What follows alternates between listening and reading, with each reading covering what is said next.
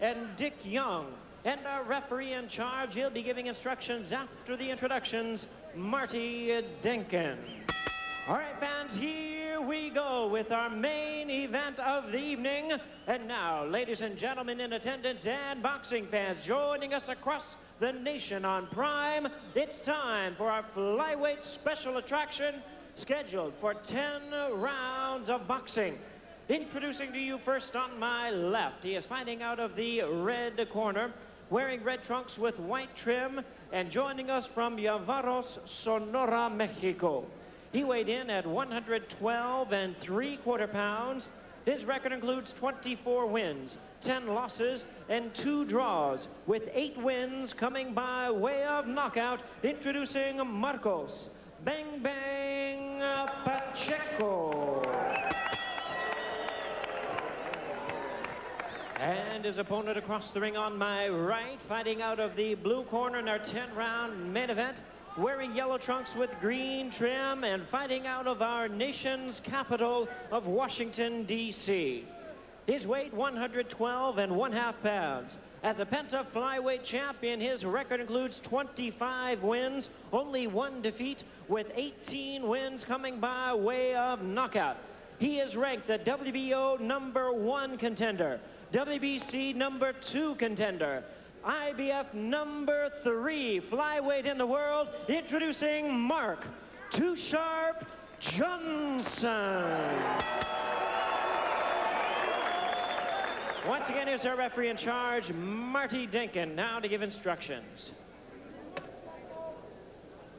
So you both know, from here on down. Abajo. Okay, no. Toques de manos. Marty Denkin, the referee, tail of the tape. Johnson's 5'3", an inch taller than Pacheco. They uh, quarter of a pound separating him. He is three years younger and has three inches more in the reach department. And uh, from what we've seen of him, though we've not seen Pacheco, Mark Johnson has just too many skills. He is truly an accomplished fighter.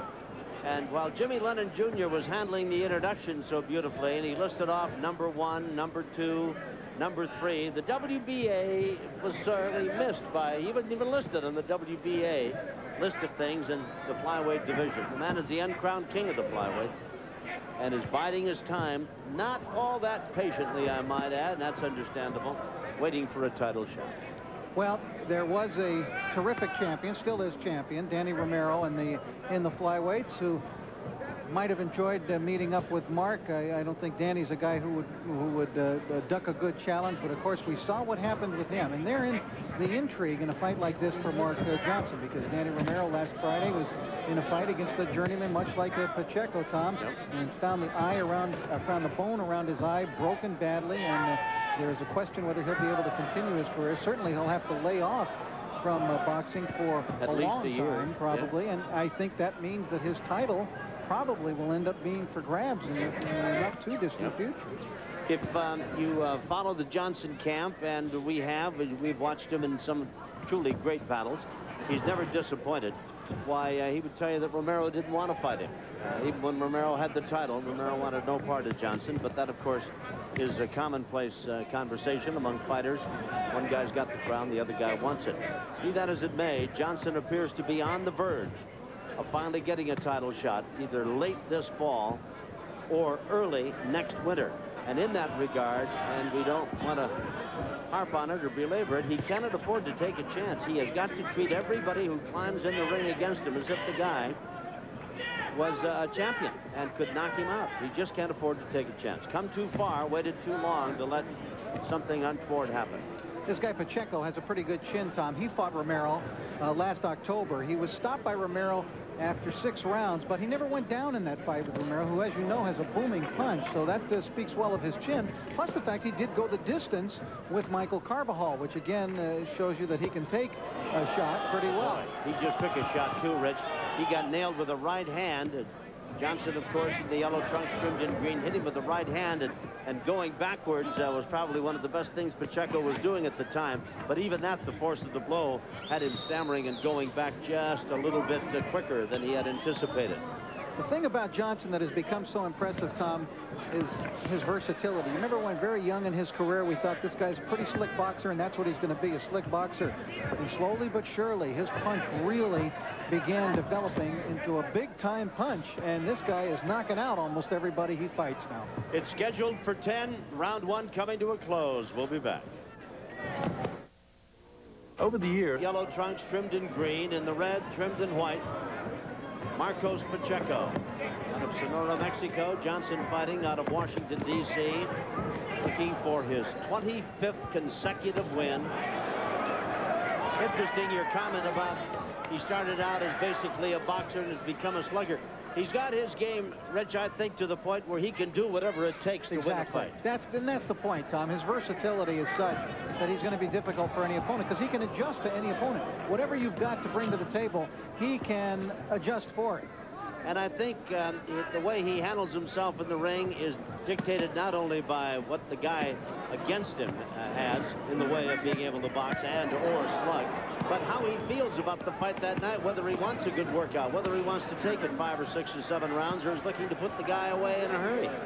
He probably doesn't want too many workouts like that Orozco workout. No. Unbelievable fight. It was, oh.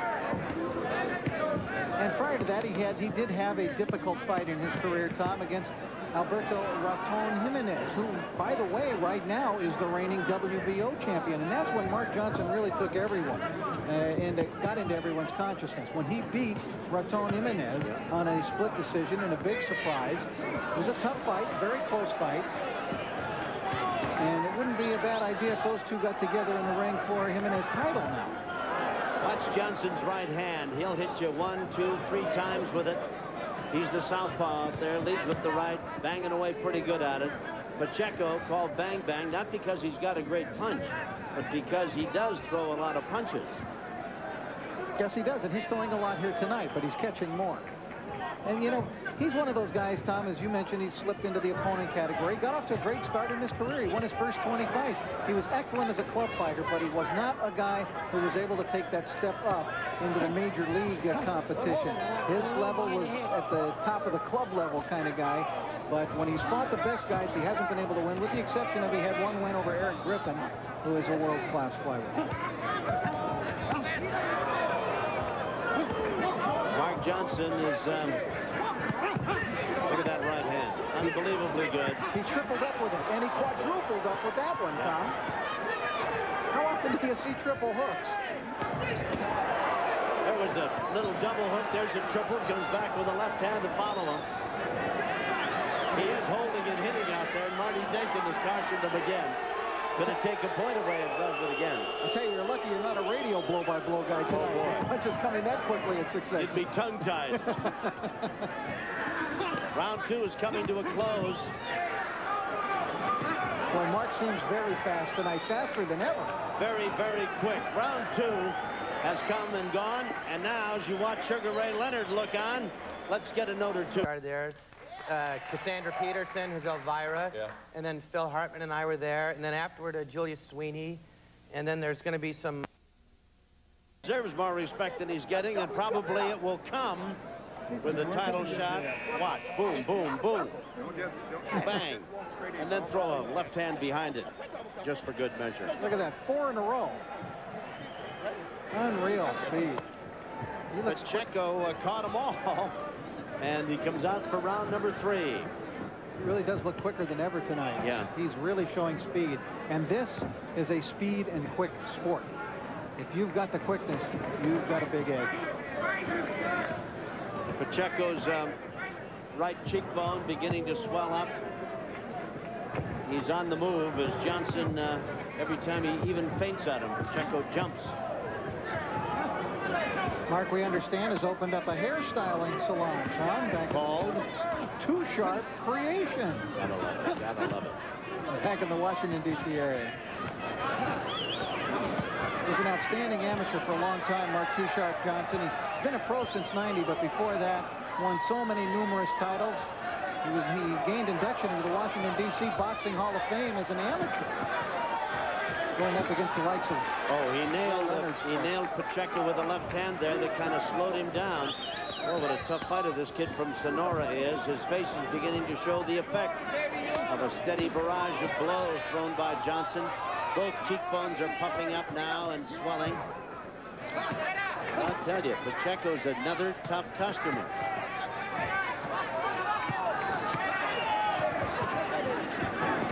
Pacheco trying very hard, Tom, and throwing punches back, but his punches do not carry the sting. They do not carry the cutting quality and the crispness of those thrown by Too Sharp Johnson. But he gets them in every now and then. When when Mark allows himself to go into this type of style where he will stand in front of a fighter, Tom, and slug with them. He runs the risk of, and often does get hit in these situations, but he lands, uh, you know, three and four and five to one to that of his opponent. If he chose to be strictly a boxer, he, he might never get hit in a fight. Well, he has nailed Pacheco with some solid shots and continues a barrage against him. And Marty Denkin looking on. Pacheco, to his credit, is fighting back but he has really caught a ton of big-time blows thrown by Johnson.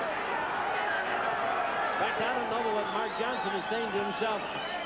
What's keeping this guy up? I've hit him with some solid, solid shots.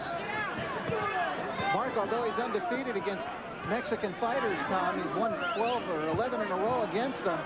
He has a very healthy respect, you know, and he speaks very highly of the Mexican fighters. And by the same token, a lot of the fans uh, of uh, Mexican fighters, a lot of the Mexican and Mexican-American clientele that frequents the forum, they've adopted Mark Johnson. Yes. And they respect him very much. Solid right hand again by Johnson. Pacheco's caught him all. Gets nailed with the left hand as round three is coming to a close. being a fan. With anything, Mark Johnson in that in that round, he was landing a lot of clean, crisp blows throughout the round. In fact, it was so one-sided there, Tom, they called the doctor in to look at uh, Pacheco between rounds. It was enough for me to score that a 10-8 round for Mark Johnson. Yes, had Marty Denkin stepped in and stopped that fight, I don't think many of the fans would have objected. Johnson is, um, oh, nails Pacheco with the right hand. Now this just is, it's becoming too one-sided, Tom. It's, Yeah. uh, it's a fight, I don't think they can go much longer here. Denkin is very close to stopping it.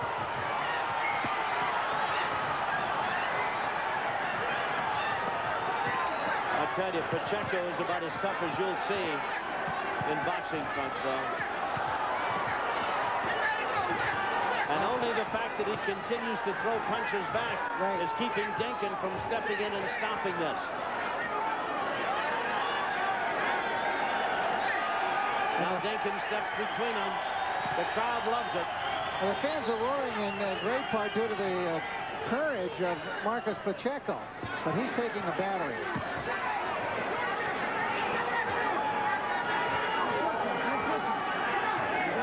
I think we're seeing all of the skills of Mark Too Sharp Johnson in this uh, fight, Tom. He's just incredibly quick. He can double and triple up on his punches like uh, perhaps uh, no one else going right now. And he throws punches with power. And I'll tell you, for all of his skill and all of his ability to hit, he's in against a guy with a concrete chin. Well, we told you Romero couldn't put him down. He took Carbajal the distance, took Melchor Cob Castro the distance, Eric Griffin the distance. He beat Griffin.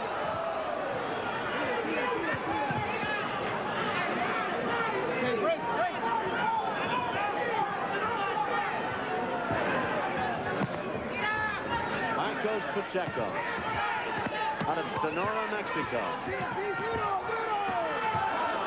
Johnson has literally hit him so hard a couple of times, he's lifted his feet right up off the canvas. And this kid is still banging away, ineffective to be sure, and taking an awful beating, and yet he continues to fight back.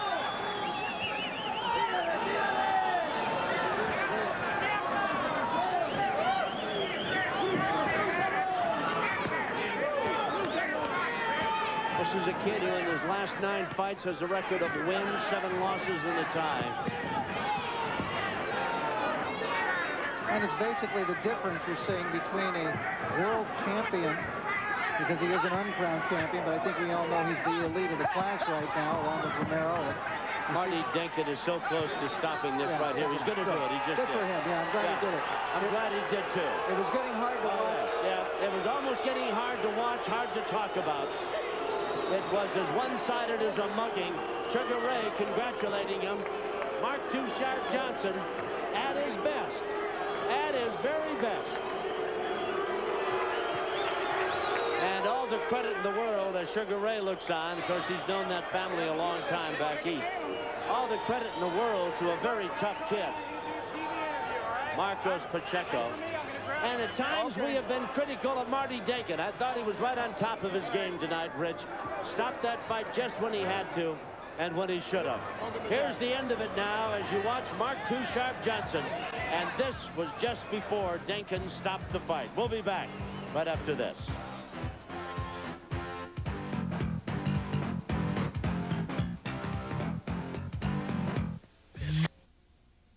Bonja Cleverage. Uh, well, it was a lot of things I wanted to try that I tried as far as uh, the strong uppercut. Uh, I wanted to box a little more, but he boxed. He he was boxing me, so uh, I'm trying to get back in the habit of boxing. But how can I box a guy who's trying to box me? But uh, it was a great win for me. I'm staying focused. Uh, I got a lot of inspiration in the locker room from uh, Mark Breeden and uh, Mark Breeden and uh, Frank Sugar Ray. Niles. What about Sugar Ray? He was here. Oh yeah, Sugar Ray is a great idol of mine. Uh, from Washington D.C. Right? I'm just glad he had a chance to get out and see me. Does this guy take uh, too much of a punch for his own good? I think he did. I hit him with some good shots, but um, coming to fight the number two and three contender, there, he was in great shape. He was a worthy opponent. And um, I did things that I wanted to do. I tried. Uh, I should have outboxed him more, but it was a great fight. Okay, we're going to go take a look at the end of the fight and tell, tell us what's going on here. Uh, well, I was hitting him with a lot of good left hands and the, other, uh, the body shots. I was a little wide there. They didn't want me to fight him in the inside, so I was trying to push him off. But uh, right there, that's when I was hitting him with the good uppercuts, the things I wanted to try. But um, I'd like to thank all the guys in Ham's Creation and Too Sharp Creation for keeping me focused and friendly gym. Okay, tell us now about a possibility of a uh, world title uh, fight. Are you ready for that? Oh yeah, I'm definitely ready. I've been ready, but um, I think my camp was more frustrated than me. Uh, all I could do is stay focused and keep winning, which I'm trying to do, and uh, stay out of harm's way. Uh, he was headbutting me, but I wanted to stay out of the way. I did things that I didn't want to do. I did, but we got the win, and uh, we're on the way home. All right, well, congratulations once again. Back to ringside. Mark Too Sharp Johnson wins again, 25 in a row. His record now 26 and 1. Sugar Ray, congrats on it. One champ to another. We've got more.